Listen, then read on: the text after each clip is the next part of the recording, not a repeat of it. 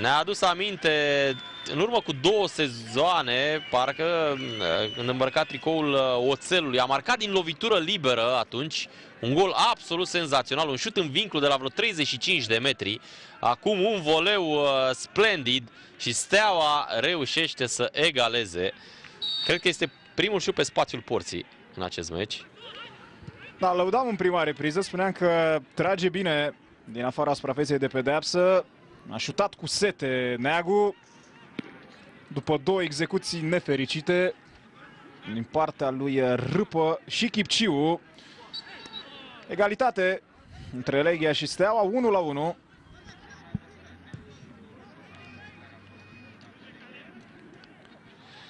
Haideți să vedem, uh, vom vedea într-o mică fereastră cum s-a marcat golul Legiei.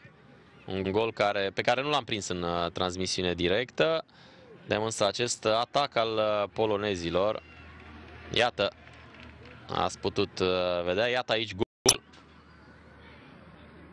Înscris de Jvoci, care ia fața lui Ghierme, neatent, brazilianul, neatent.